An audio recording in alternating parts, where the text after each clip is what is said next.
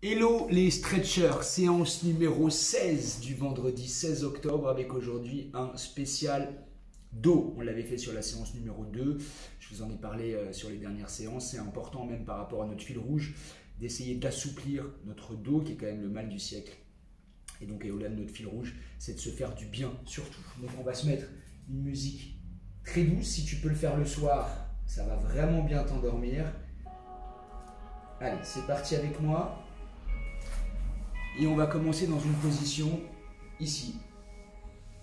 Assis sur les genoux, les fesses sur les talons. Tu vas poser le bras gauche au sol. Et tu vas tirer ici.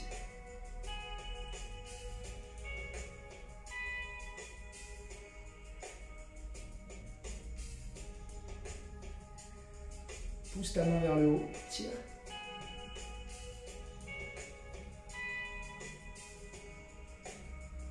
Reviens doucement.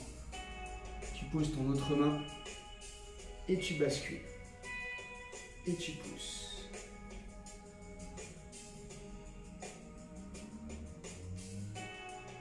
Tire ton bras.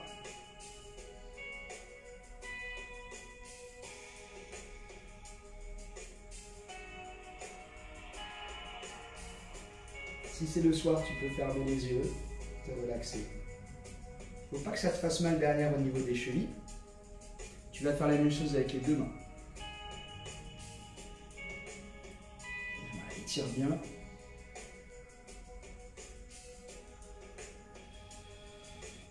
Essaie de pousser ta hanche sur le côté.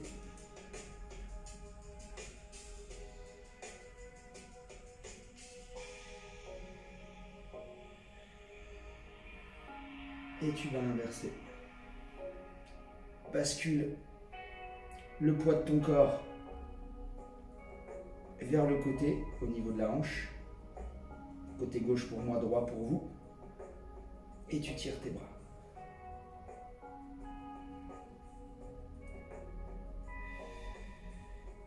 Tu relâches. Une petite position de l'enfant ici, où tu vas tirer tes bras vers l'avant, asseoir les fesses sur les talons.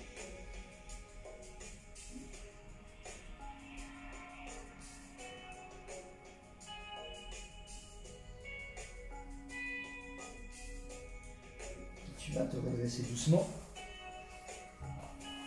Tu vas venir ici, toujours en étant assis sur les talons. Poser les doigts. Relâcher les cervicales. Et si tu peux poser les paumes de main au sol, tu les poses.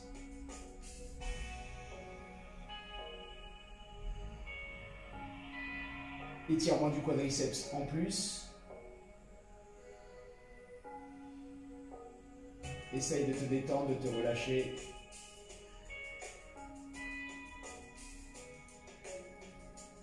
Avec beaucoup de précaution, tu relèves les cervicales, tu pousses sur ta main forte, tu repasses en position de.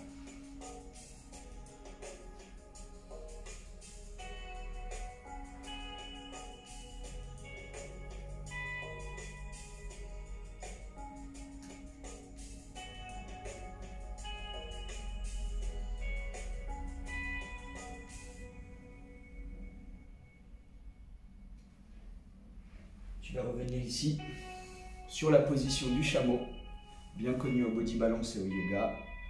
Tu es dans la position ici, tu vas mettre tes mains au niveau des hanches et tu vas laisser tomber ta tête vers l'arrière.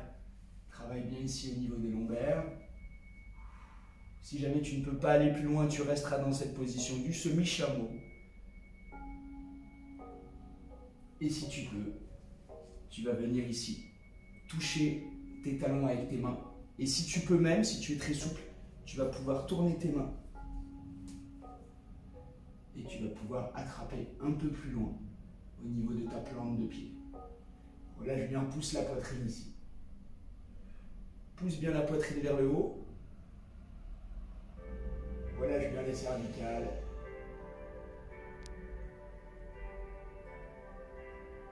Tu vas ramener les cervicales, pousser sur une main revenir.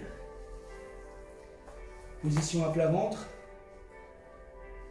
Tu vas positionner les paumes de main au sol. Regarde mes pieds derrière. Pointe de pied l'une contre l'autre. Imagine qu'on vient de te passer une balle de ping-pong sous le ventre. Tu vas pousser, tu vas soulever. Tu vas garder les pointes de pied bien rentrées. L'exercice de la dune. Soulève, pousse, pousse, pousse. Les paumes de main sont au sol. Plus tu vas pousser les fesses vers le haut, et plus tu vas étirer les longueurs et tu relâches. Regarde mes pieds derrière, on est bien d'accord Tournez, cheville vers l'extérieur. Pointe de pied se touche. Inspire. Et souffle. Pousse, pousse, pousse, pousse, pousse. Une fois que tu es là-haut, tu inspires et tu souffles tranquillement.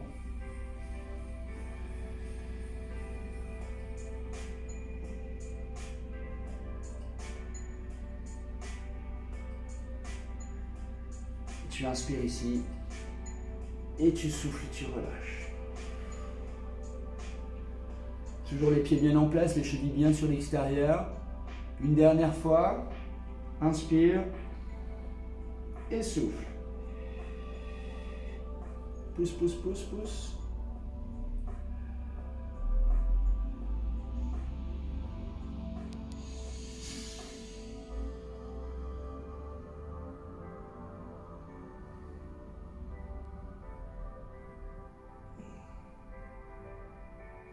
Inspire et tu relâches.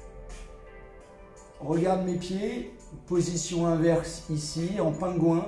Tu vas tourner les bras, tu vas être complètement relâché. Et pendant 30 secondes, tu vas faire comme si tu t'endormais. Ferme les yeux. Essaye de toucher le sol avec tes talons en gardant les pieds en pingouin.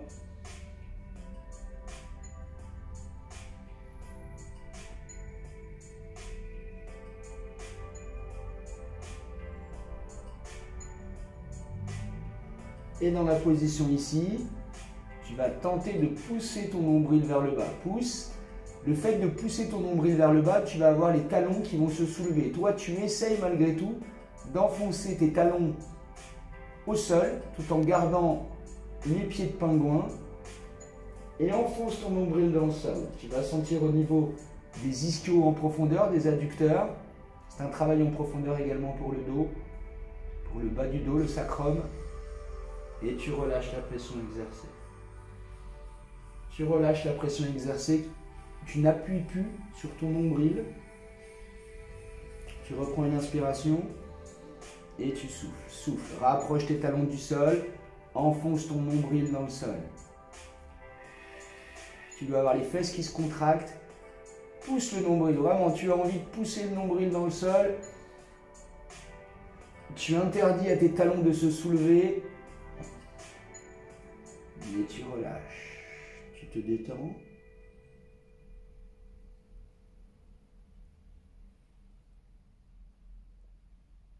On reprend ici. Une dernière fois. Tu souffles et tu enfonces. Allez, enfonce, enfonce, enfonce, enfonce. Le nombril dans le sol, n'oublie pas. Pousse le nombril. Tu dois ressentir au niveau des adducteurs, au niveau du psoas. C'est un travail très en profondeur. Au niveau du sacrum également. Allez. Enfonce ton nombril dans le sol et rapproche tes talons du sol en position pingouin. Et tu relâches. Tu vas reprendre une position ici. Où tu ne vas pas positionner les fesses sur les talons. Tu es devant ici. Et tu vas étirer les trapèzes. Tu vas essayer de toucher le sol avec ton front, ton nez les fesses ne touchent pas les pieds. Allez, descends la tête, touche le sol avec ton nez.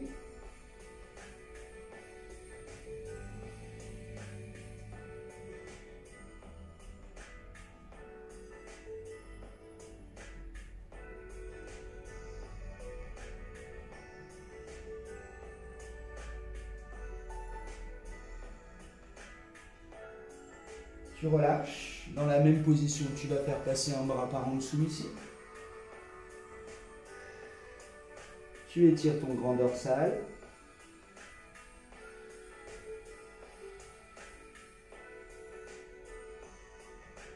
Pousse bien le bras vers l'avant.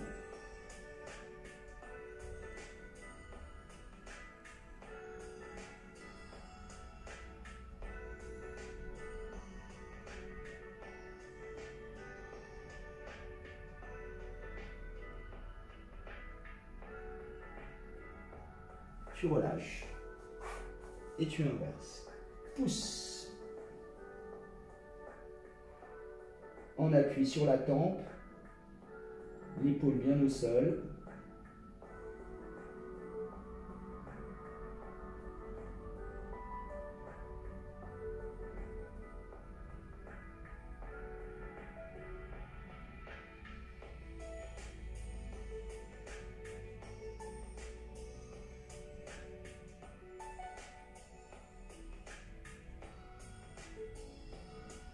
Tu relâches. Position à quatre pattes. Le chien ici, tu vas pousser les fesses vers l'arrière. Pousse, pousse, pousse. Bien verrouillé, bien cambré.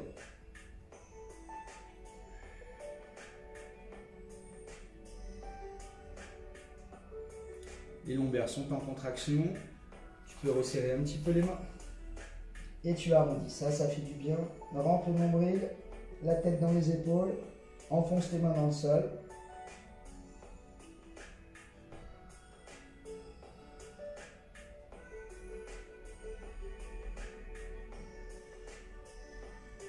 Tu reprends ici, tu pousses. Tu peux garder les mains au même endroit. Et tu joues avec les deux positions. Inspire et là tu souffles.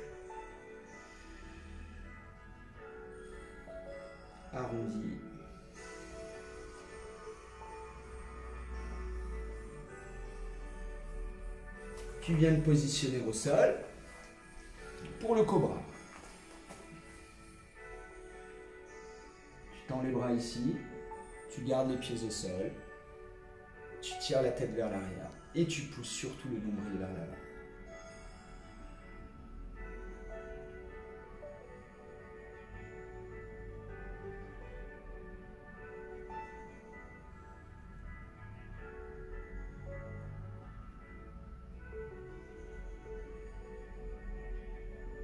Pousse le nombril vers l'avant, tire la tête vers l'arrière, tends les bras en cas de difficulté, tu restes en position sphinx ici. Tu te contentes ici de soulever la poitrine. Tu vas revenir en position de l'enfant.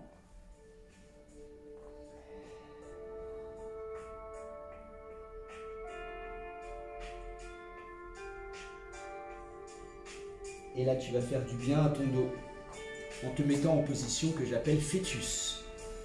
Ici, tu vas regrouper les deux genoux et tu vas te recroqueviller ici, sur le côté.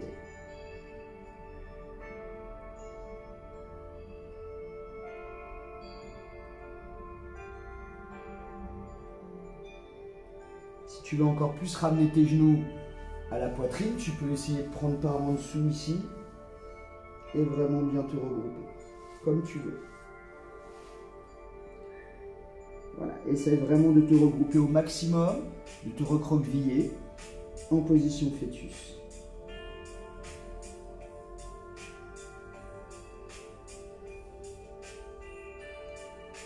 On va passer ici dans la position chien de fusil, comme tu as l'habitude ici.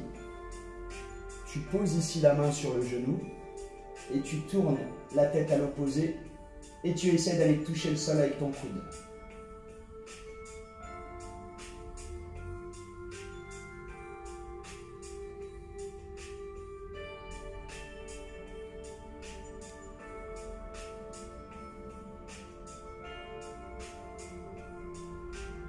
Continue à tourner la main derrière.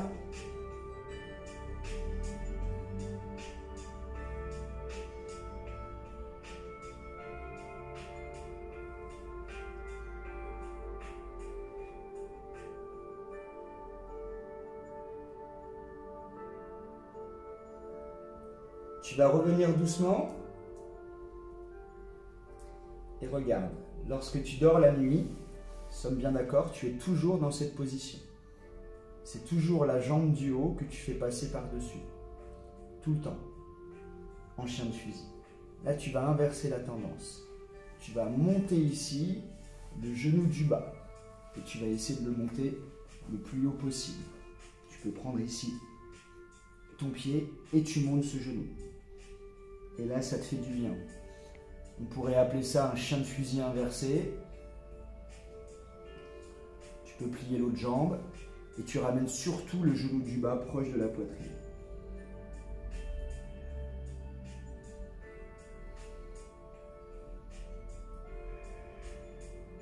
Tu es complètement relâché, complètement détendu.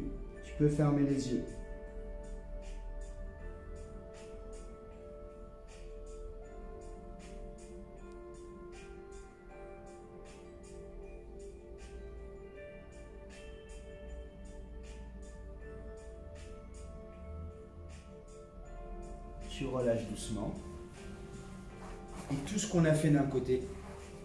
Pour terminer, on va le faire de l'autre.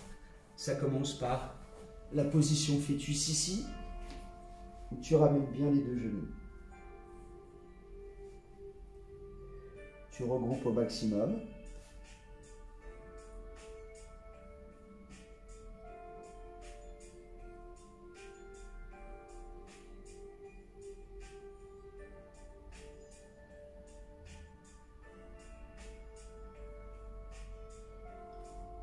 Peux passer tes mains par en dessous si tu as besoin pour aller chercher plus loin, comme tu veux.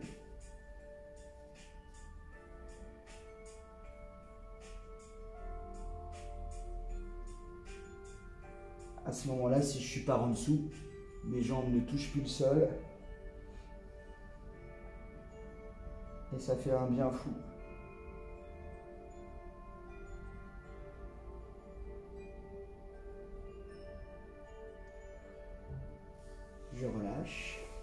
Je passe le genou du haut ici en position chien de fusil et je tourne la tête à l'opposé. J'essaie de toucher le sol avec mon coude.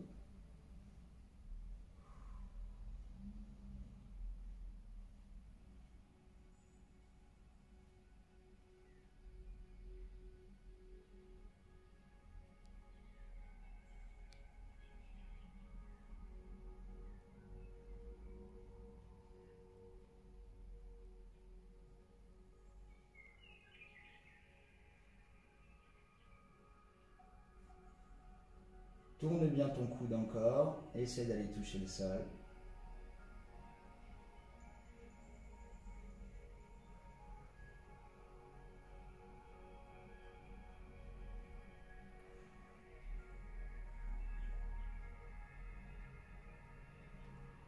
Tu reviens doucement avec précaution.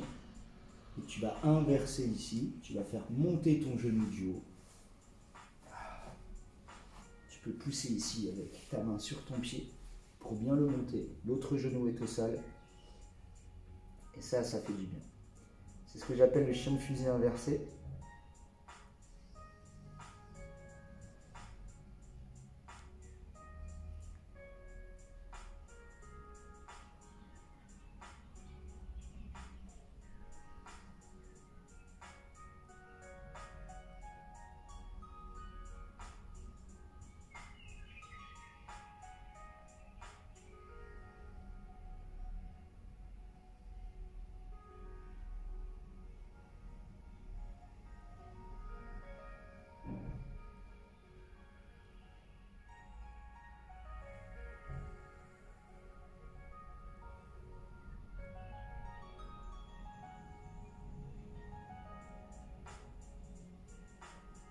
Vas relâcher, revenir.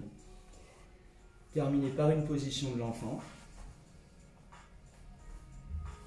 Si tu as eu la chance de faire cette séance avant de dormir, j'espère que tu vas pouvoir passer une bonne nuit.